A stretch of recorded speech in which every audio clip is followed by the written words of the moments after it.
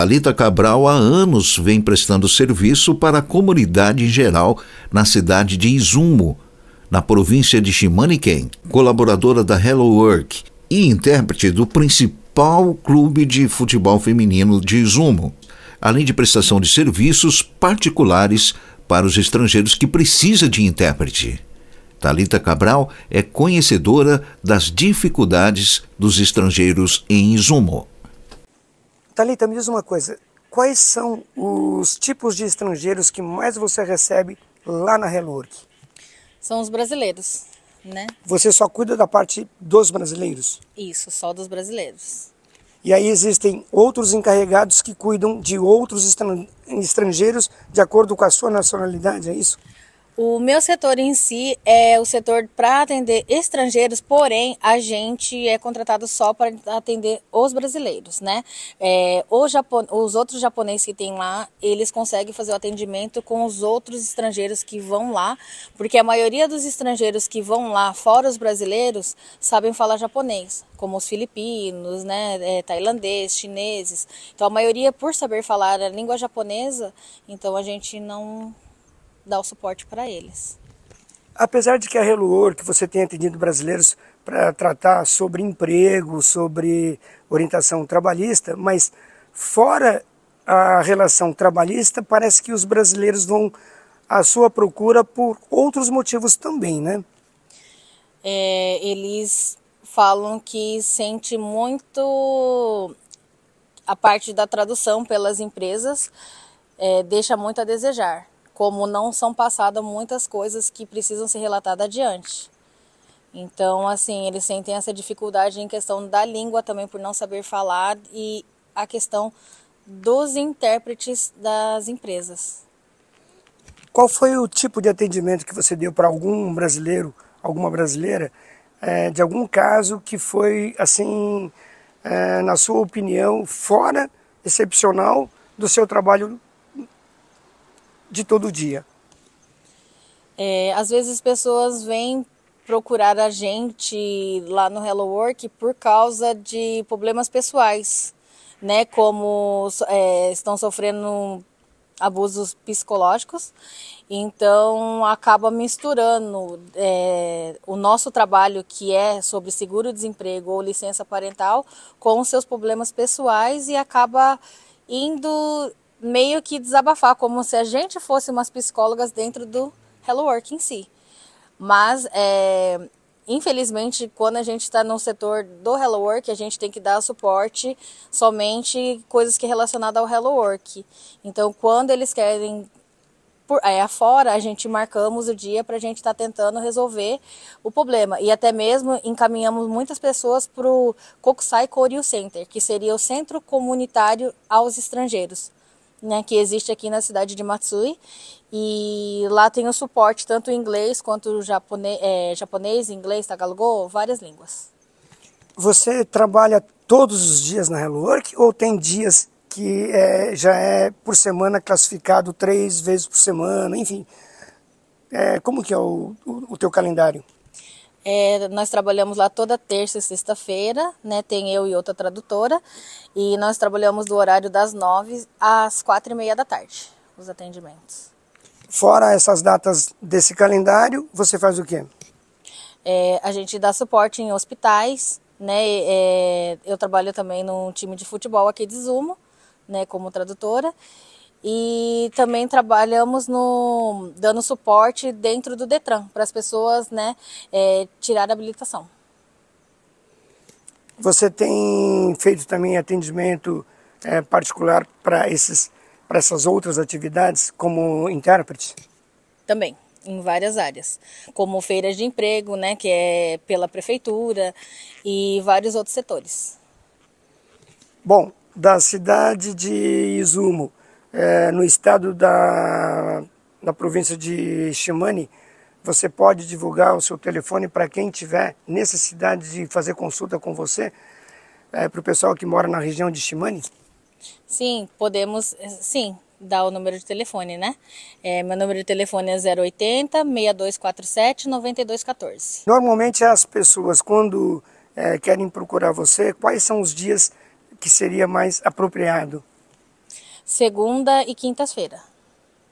Segundas e quintas. Isso. Segundas e quintas são os dias mais livres. Alguma orientação que você gostaria de passar para os brasileiros que estão chegando agora na cidade de Izumo? Alguma orientação que você gostaria de passar para eles? É, muitas pessoas têm vindo para a cidade de Zumo achando que aqui tem escolas brasileiras, né, pela comunidade brasileira ser muito grande, porque hoje em dia está em média de 3.800 brasileiros na cidade. Porém, aqui não tem o suporte de escolas brasileiras como Hamamatsu, né, é, para as partes mais como Nagoya, enfim.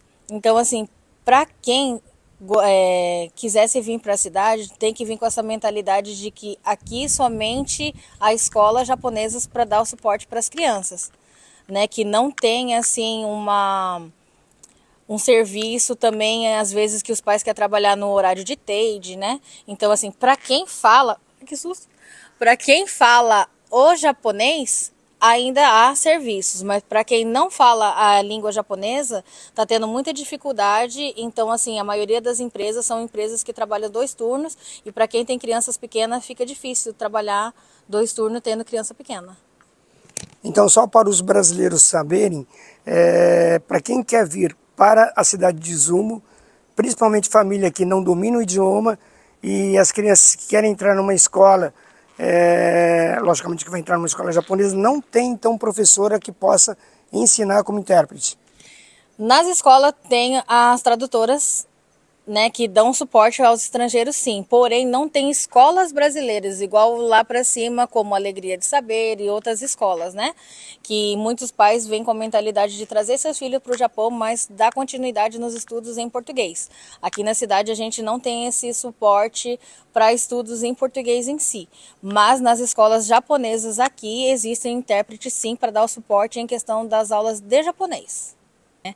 ajudando na parte também da, da leitura, né? conversação básica em japonês, enfim, esse suporte, né? Aos pais também, para reunião dos pais, né?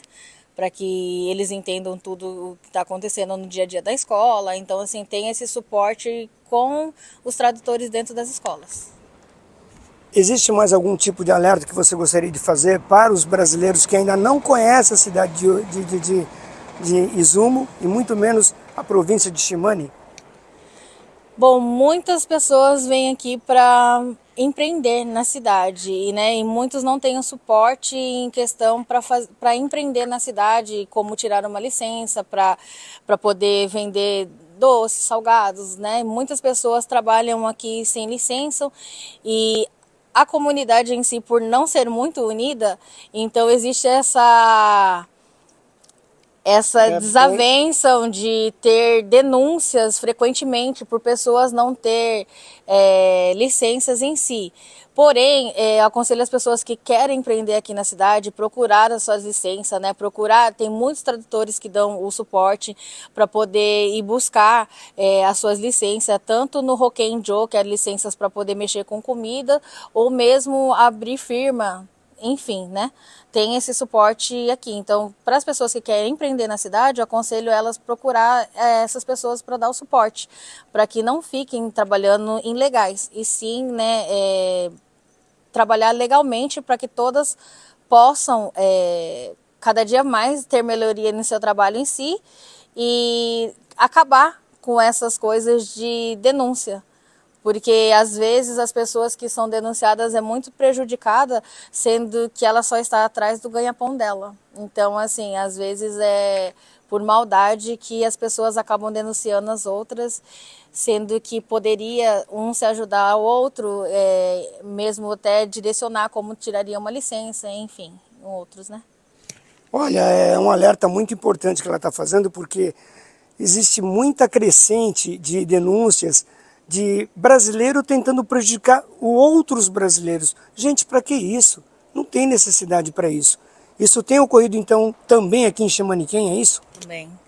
Também tem ocorrido, né? E isso é muito triste, porque deveria de ser o povo mais unido. Aqui em Zumo já chegou a ser considerado a segunda cidade que tem mais brasileiros aqui no Japão. Já chegou, né? Hoje reduziu o número de brasileiros aqui, mas já chegou é, ser o segundo, a segunda cidade que tinha mais brasileiros na cidade.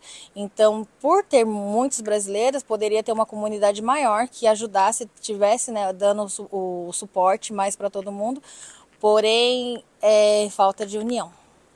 Gostaria que todas as pessoas que tivessem problemas né, é, em si relacionado com qualquer uma coisa, não só dentro de uma empresa, mas a, a abusos domésticos e casos com denúncias ou algo assim, que procure até a assessoria do RPJ, porque o RPJ tem ajudado muito a comunidade aqui na, na cidade de Izumo, né?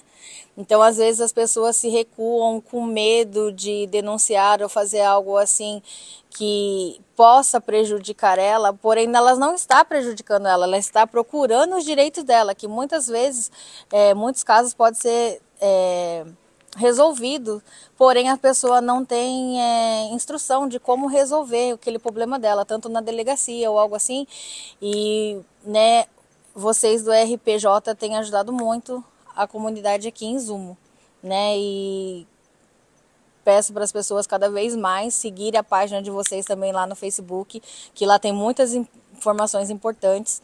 Quem já segue já pode, é, pode saber, é, pode ver né, o suporte que vocês conseguem dar para a gente através do RPJ. E que não se calem, gente, né? Por cada vez se pronuncie mais devido aos problemas né, do, de todos vocês, para que não piore a situação de cada um, e sim a gente trazer melhoria para a comunidade.